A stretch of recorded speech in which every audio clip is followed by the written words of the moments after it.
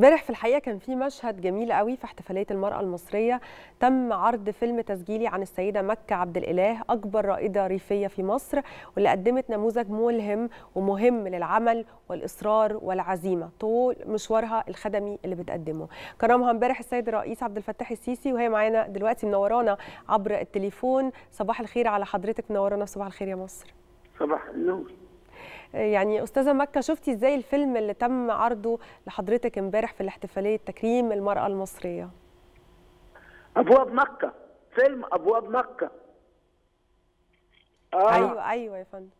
اتعرض امبارح والناس كلها أعجبت بالفيلم وأعجبت بي أنا شخصيا. إزاي الست إزاي وصلت كده؟ إزاي عملت كده؟ قلت لهم أنا العمل اللي عملته أنا ده جزاني به ربنا. عشان أنا بخدم الناس. وربنا خدمني في الحتة دي. ربنا يديك الصحه يا ست مكة. قلت إيه للرئيس؟ لما وقفت معاه قلت له إيه؟ قلت له آه لما عرض الفيلم قلت له يا ريس قلت له أنت ما قلتش حاجة على الفيلم. وقال لي أنا هتكلم لسه يا حاج مكة. وراح قال لي خلاص. قلت له أنا جاية لك. قال لي لا أنا اللي هديكي ونزل جه سلم علي. أول ما شفته قلت له أنا أول مرة أحس بالسعادة. أول مرة أحس نفسي إني أنا إنسانة عايشة على الأرض. ليه؟ عشان قلت له عشان سلمت علي وشفتك. وبعدين قلت له أنا عايز أروح عندك في القصر. قال لي ماشي تعالي يا حاجة مكه تعالي قلت له يمكن حد يعترض لي ويقول لي ما تخشيش. لو قال له قالوا لي كده لما أجي عندك هيبقى فيها كلام تاني. وبقى يضحك زي حاج مكه قلت له كده. ده انت ست عظيمة ده يعني إيه وبدا يتكلم معاي. يعني وانبسطت بعدين بيقولوا لي إيه شعورك؟ قلت لهم شعوري اني أنا اتولدت من جديد وسلمت على الرئيس. طب حاجة مكة شايفة إزاي بقى اللي قدمه السيد الرئيس عبد الفتاح السيسي للست المصرية؟ قدم لي كل حاجة وهو بيهتم بالست المصريه لأن الست المصرية هي بتستاهل كل خير. هي الأم هي الأخت هي الزوجة وهي العمه هي الخالة. يعني صراحة الست المصرية دي والمرأة المصرية أقوى وأقوى وهذه تبقى أقوى من كده. حتى الرجال بيقولوا الرئيس غور الست علينا. الست الستات هم اللي يستاهلوا كل خير. ربنا يديك ست مكه طيب. إحنا عايزين نعرف انت انت بقالك 33 سنة شغالة في العمل التطوعي. هدفك أيوه. كله هو توعية المرأة. أنا عايز ابدا مع حضرتك المشوار من الأول وايه اللي خلاكي تعملي كده؟ يعني بحسب ما شفت حضرتك اتبرعتي بجزء من بيتك عشان تعملي بيه مشغل. أيوه أيوه. صح. داتي كانت اول ما جت تربيه المرأة الريفية هي جت نزلوا عندنا عندنا وحدة اجتماعية وراحوا نزلوا هناك. قالوا عايزين نعمل تنميه المرأة الريفية. تمام.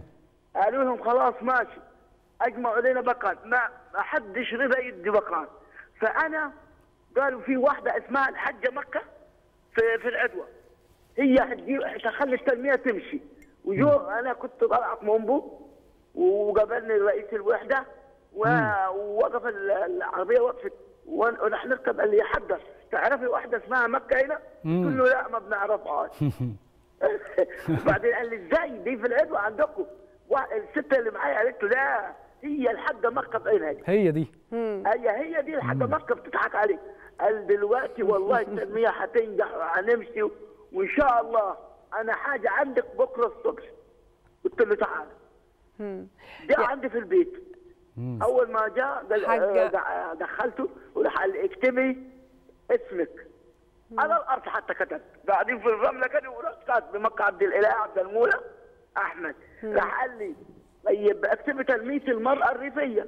كتبت تنميه المرأة الريفية. قال لي إيه رأيك إحنا هناخدك إحنا عارفين مشروع تنمية المرأة الريفيه زي ما قلت لك. عايزين بنات يبقوا رائدات ريفيات. قلت له خلاص أنا هجمع لك البنات. وعايزين نعمل مشغل قلت له إحنا متمنين إن الحاجات دي تبقى عندنا في البلد. وعلى طول رحت مش... رحت كرم الديب رحت منيحة رحت اجليد الرغامة. قلت لهم يا بنات في تنمية المرأة الريفية. إيه رأيكم؟ عايزين رائدات ريفيات بنات تشتغل. خلاص إحنا جرحنا. اثنين من منيحه واثنين من كرم الديب واثنين من العدوى واثنين من الرغامة. إحنا مبسوطين بيكي مبسوطين بفرحتك يا حاجة مكة وبنشكرك على التليفون الجميل ده. كل شكر ليكي السيدة مكة عبد الإله أكبر رائدة ريفية في مصر.